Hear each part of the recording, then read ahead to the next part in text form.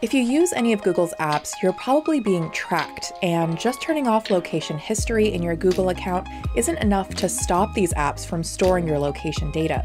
Anytime you Google something or open up Google Maps, those apps log your approximate location.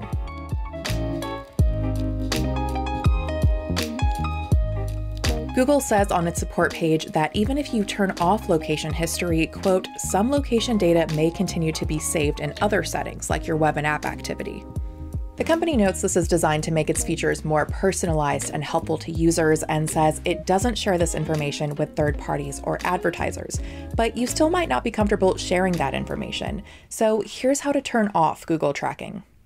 So you can do this on Android or on iOS. I'm going to be doing this on Android. So what you're going to do first is you're going to go to your Google account and go ahead and tap on your profile and hit manage your Google account.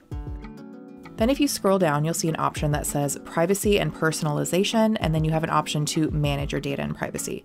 So go ahead and hit that, and then scroll down under history settings, there's an option that says location history right here. Go ahead and hit that, and then here under location history, you have the option to turn off your location history.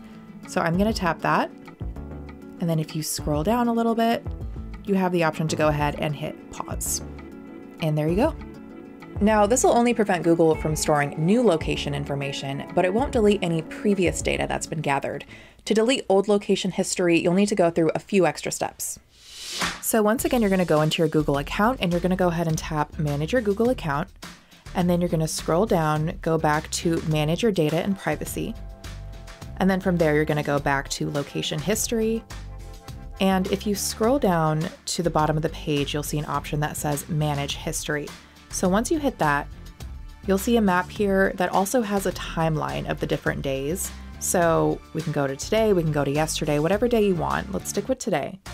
And then what you're going to do from here is you're going to go to these three dots in the upper corner here and then you can delete day. So it'll delete any of the location history from that day.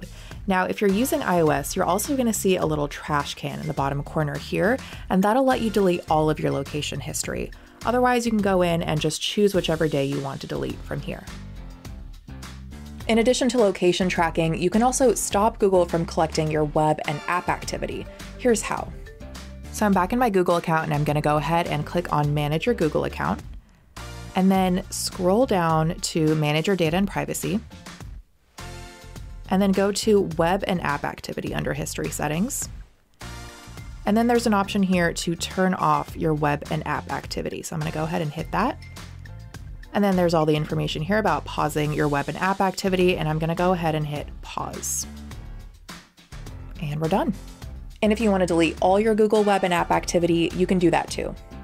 So what you're going to do is you're going to go ahead and click on manage your Google account again, and then scroll down to your manager data and privacy, and then go ahead and go back to web and app activity. Click on that. And then you're going to have an option near the bottom here that says manage all web and app activity. So I'm going to go ahead and hit that. And then when you scroll down, you'll see an option here that says delete. So when I click on that, there's going to be a pop up window that lets you delete your web and app activity from the last hour, the last day, all time, or a custom range. So you can choose whatever you want and say the last hour, and it just deleted the last hour of web and app activity. And that's it. Now you'll hopefully feel like you have more control over your data and what you choose to share. It's worth noting that there are some drawbacks to turning off Google tracking. Google uses your location to show you nearby businesses or to surface more relevant information in your searches. So if you turn off that setting, then the ads and search recommendations and information that you get will be more random. But if you value your privacy over a more personalized internet experience, then you might want to turn off tracking. Going through these steps will prevent Google from storing location markers and information collected from your searches. It'll also keep your approximate location private, including your home address. If you found this video helpful, don't forget to hit like and subscribe for more content from CNET. Thanks so much for watching.